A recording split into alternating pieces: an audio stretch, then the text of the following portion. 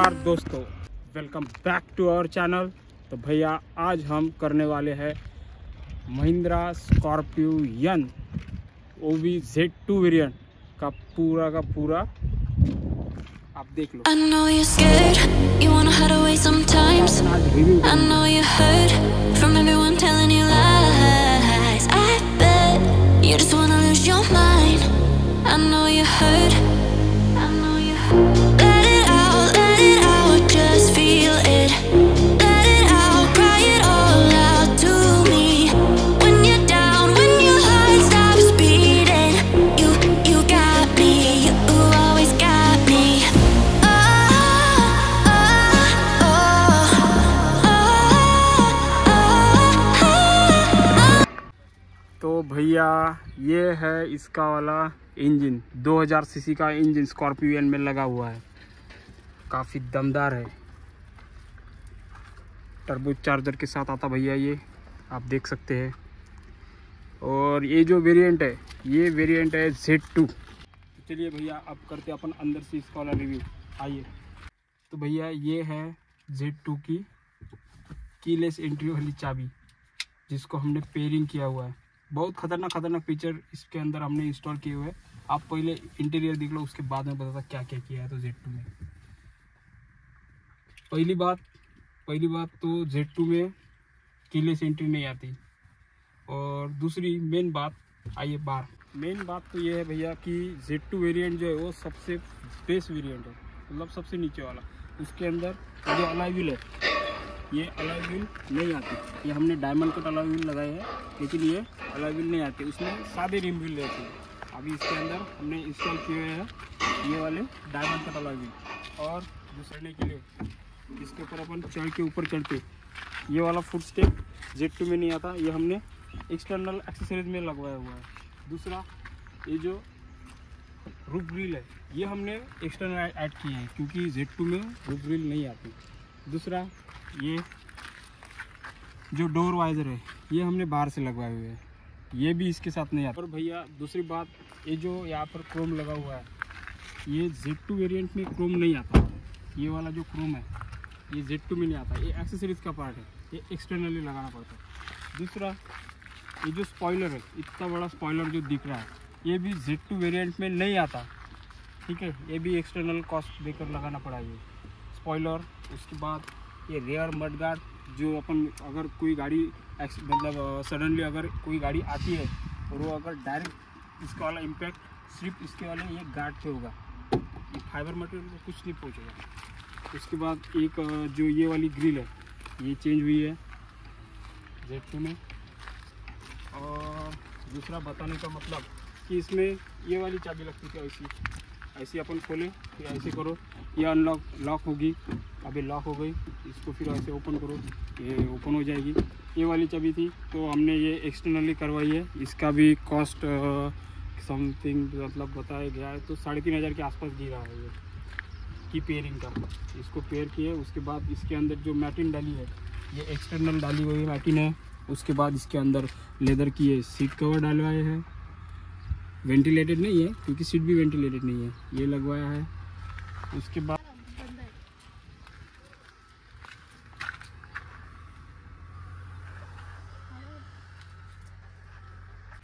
तो भैया टोटल जो गाड़ी है, वो near about seventeen lakh something के आसपास थी। वो भैया को पता है कितनी की थी हुई थी और दूसरी बात, इसमें एक्सेसरीज जो है एक्सेसरीज मैंने लगवाई है तो उसकी कॉस्ट मेरे को पता है।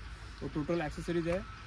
एक लाख पचास हज़ार के आसपास इसको टोटल एक्सेसरीज लगे सिक्सटी फाइव थाउज़ेंड की इसके वाले अलॉय व्हील थे। और दूसरी बात, कभी भी कभी भी सोचना मत कि हम ये लगाएँगे करके। जो कैरियर है, ऊपर जो लगा हुआ है ना, ये वाला, ऐसा कैरियर मत लगाइए कभी भी। मेरे से एक गलती हो गई कि मैंने कॉस्ट कटिंग में देखा, फिर भी नौ हज़ार का लगवाया मैंने। ये देखो यहाँ से पेंट उखाड़ दिया इसका वाला। लगाते समय ही पेंट उखड़ गया इधर का। आप देखो। ये कभी भी यूज़ कर मत यूज़ मत करना, क्योंकि इसको फिक्स करना पड़ता फिर। ये, लेकिन ये लगाना इसलिए ज़रूरी है, क्योंकि अपन कभी भी बाहर जाते हैं तो उस टाइम पे यहाँ पर स्पेस कुछ भी नहीं है। चाहे आप Z2 लो या Z8 लो टॉप एंड मॉडल है Z8 जेड भी लेंगे, तब भी इसके अंदर कुछ भी स्पेस नहीं है, आप देख सकते अगर जाना है सेवन सीटर है, सात जन आराम से बैठ के चले जा सकते हैं, लेकिन पीछे के सीट में दो जन कंफर्टेबली नहीं बैठ सकते, क्योंकि नी स्पेस कुछ भी नहीं है। अपन जाके देखेंगे, बैठेंगे, तब मैं बताऊँगा आपको। इसको फोल्ड करो, उसके बाद इसको ऊपर करो, तब जाकर ये फोल्ड होंगी। तब स्पेस बन जाती है, काफ़ी। मतलब नियर अबाउट साढ़े चार सौ लीटर की तो बूट स्पेस बन जाती है। कि करने जाओ क्या और करे क्या। फिर भी भैया कंफर्ट के मामले में अच्छी है, कहाँ तक? मिड रो तक। लास्ट रो में कुछ भी स्पेस नहीं है। अब मैं पहले लास्ट रो में जाके तो भैया, अभी हम इसकी वाली जो स्पेस है, वो देखने के लिए जाएँगे अभी। आगे ये सेकंड रो है। इसके अंदर काफ़ी ज़बरदस्त स्पेस है। आप देख सकते हैं नी रूम भी बहुत ज़बरदस्त है। काफ़ी टाइम मतलब स्पेस है इस यहाँ पे।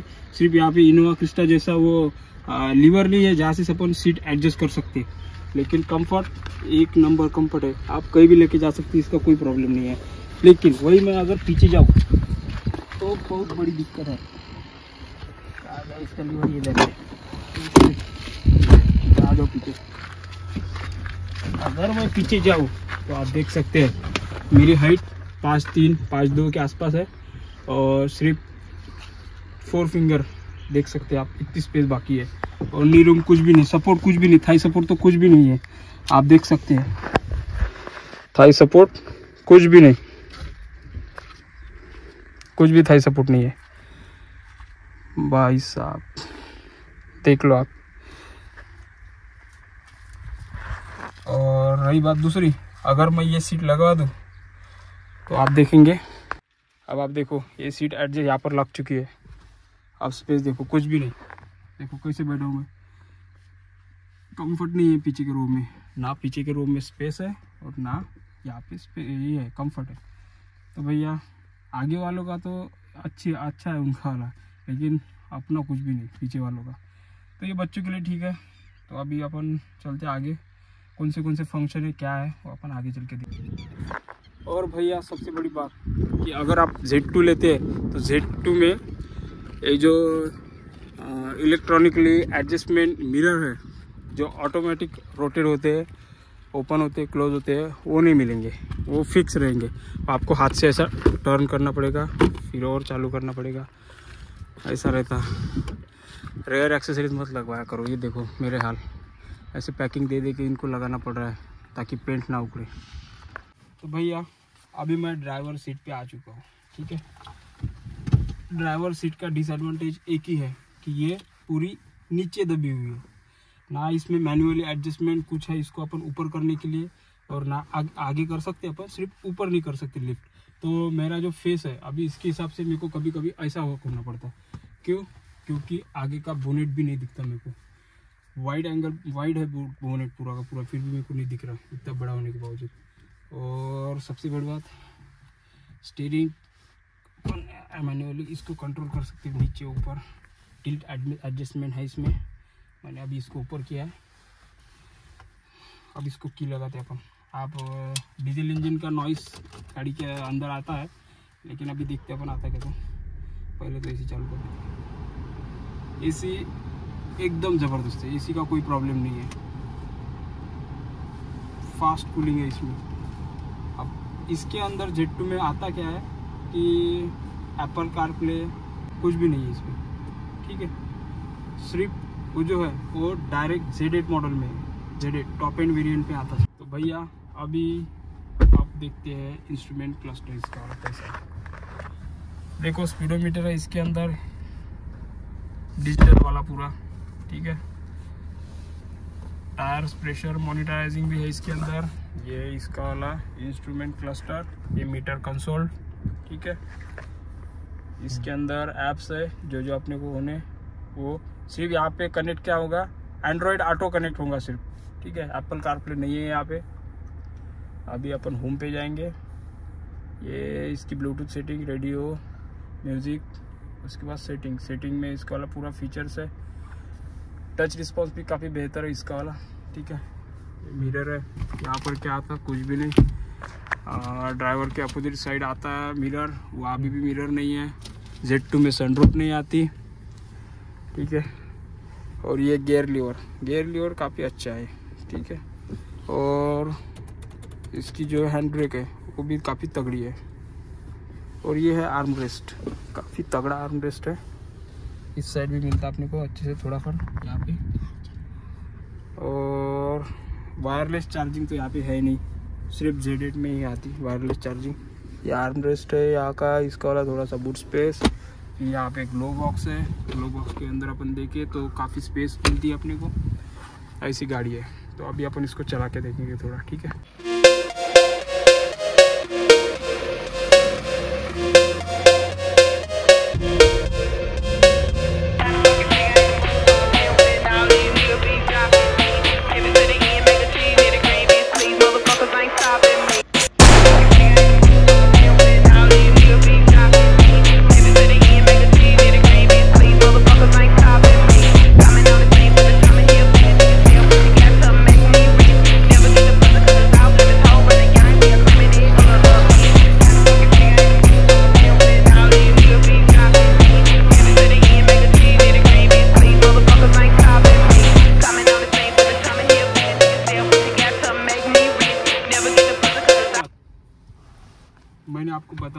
गया कि इसमें ऑटो स्टार्ट है।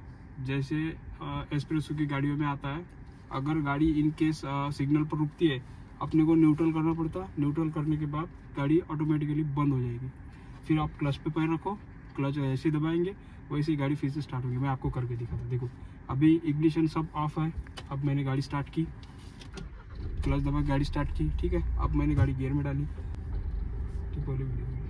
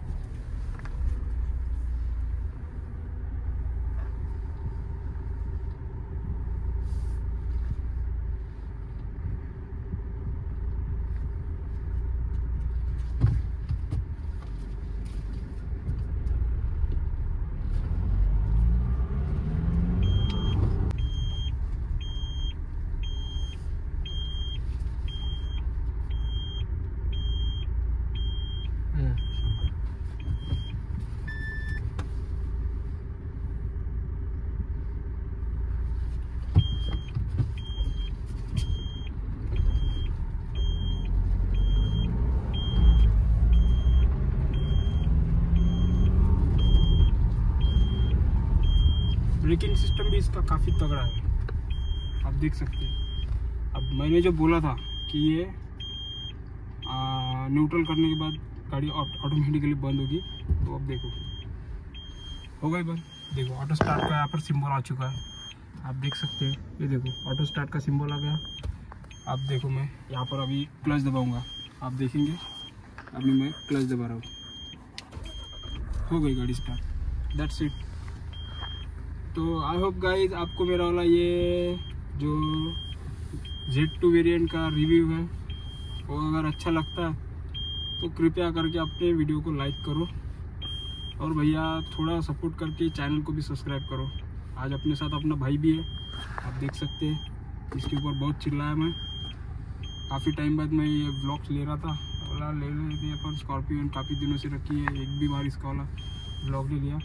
तो अभी इसका वाला ब्लॉग ले लिया है। तो आज अपन यहीं पे इसको ख़त्म कर, ठीक है?